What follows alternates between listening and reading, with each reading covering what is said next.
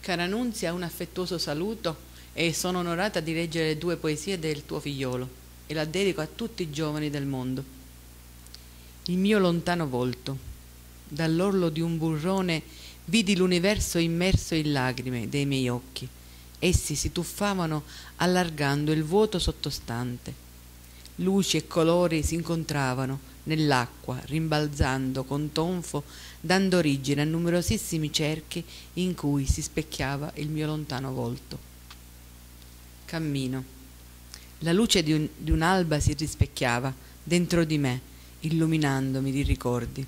Camminavo lungo colline tra picchi di rocchi e di rupi a strapiombo, fino ad arrivare in vetta, così da poter ammirare dall'alto quant'era piccolo il mondo vedevo scintillanti sorgenti nella notte che tracciavano il sentiero che portavano a valle.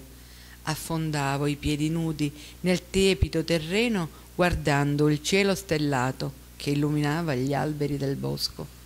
Metamorfosi esistenziale, l'uomo, l'universo, il pensiero, la libertà, la natura, la vita, spazi congiunti tra loro che legano l'uomo e sono indispensabili e necessari. Tutto deve mutare con urgenza se non vogliamo essere soppressi da una colossale metamorfosi essenziale. Desiderio. Eccomi ancora, per l'ennesima volta, nel buio della notte, coi soliti pensieri. Rinunciare al mio passato per accettare una nuova identità è un rinnovare, è condursi a un nuovo concepimento. Vorrei essere un relitto, trovato in fondo al mare e riaffiorare colmo di serenità e voglia di vivere. Il dubbio che si pone è concepito dal passato che non può tornare a galla se non dai miei pensieri.